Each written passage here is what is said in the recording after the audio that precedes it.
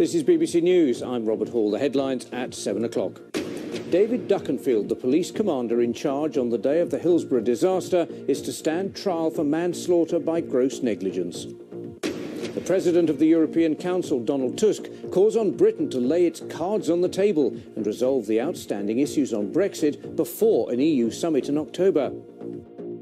If we want to reach a deal in October, we need quick progress.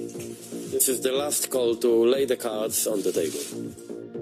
After marathon talks at today's summit, a deal was struck to set up secure migrant centres in EU states.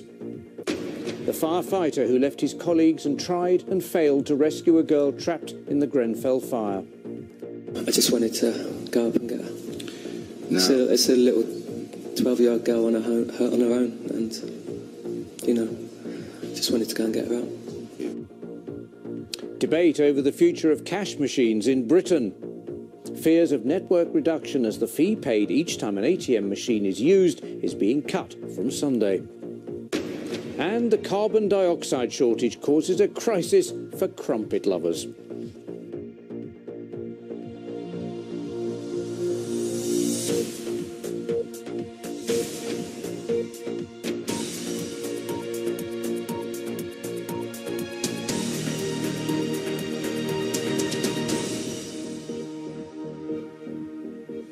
Nearly 30 years after Britain's worst sporting disaster at Hillsborough Football Stadium, a judge has ruled that the police commander in charge on the day can face trial.